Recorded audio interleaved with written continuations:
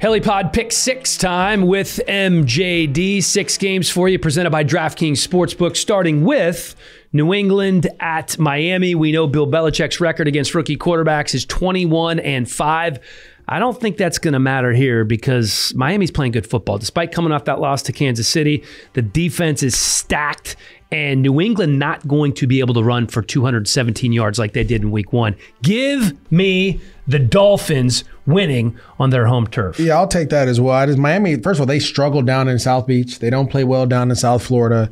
Uh, and they're just banged up and offensively. They can't find a rhythm to do anything. So I'll take Miami as well. I'm going Miami 24 17. Chicago at Minnesota, uh, the eighth and ninth seeds right now, right out of the playoff picture. Uh, Vikings had a chance to go up 10 nothing on the Bucs, missed field goals, missed extra points. That plagued them. Chicago snapped a six game uh, losing streak, beating up on the Texans. This is going to come down to the trenches. The Vikings gave up six sacks against Tampa. We talked about this earlier. Khalil Mack starting to heat up. I like the Bears in this one by uh, by six, 20 to 14. Yeah, I'm going to take the Bears as well. I think Mitchell Trubisky gives them a different option when they're running the ball. Uh, David Montgomery had a big day, but they still don't give him enough carries like they should.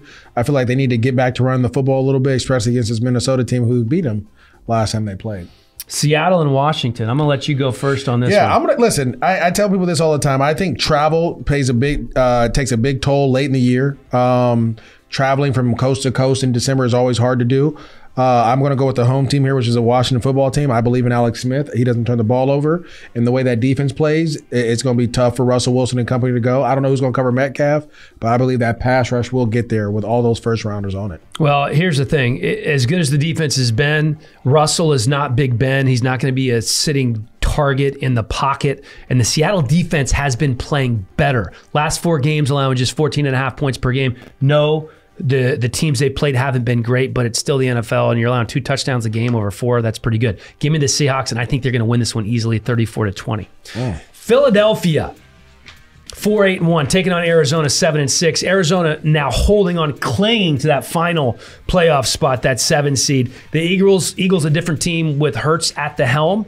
Uh, but the Arizona Cardinals, a very different team when Kyler's running the ball. He ran it 13 times last week. Maybe the shoulder's getting a little better. Not hesitant. I like the Cardinals here. Yeah, I like the Cardinals a lot. Like I said, I just talked to you about traveling Philly. They did a great job beating the Saints in Philly, but now you have to get on a flight, go all the way to Arizona, and your secondary's beat up. Ah, it just seems like it's too much. Who's going to cover D Hop? And you know what? Kyler yeah. gets the ball out quick in this offense. Yeah, the Eagles secondary is a mash unit right now. I think Kyler's going to torch him. 31-24 Cards is uh, is my pick there. Okay, Kansas City at New Orleans. We thought this could be a Super Bowl preview.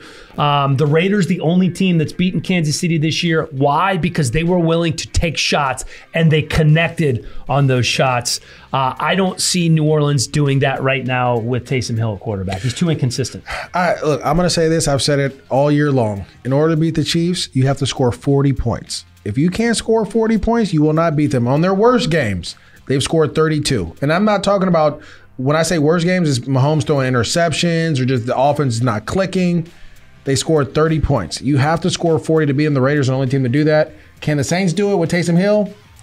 Most likely not. Yeah, I don't think so either. 33 24, Kansas City might pick there. And finally, Cleveland, 9 and 4, the Giants 5 and 8. Uh, Giants playing better, you know, over the last few games, obviously. Who's the uh, quarterback?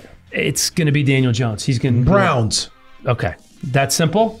Browns. Yeah, Daniel Jones turns the ball over far too much, and they they're not good enough right now offensively to overcome those You're trying turnovers. To give too much uh, analysis. Is Daniel Jones a quarterback? Yes. Browns. All right, I'm going Browns too. 27-14. My pick is the Browns.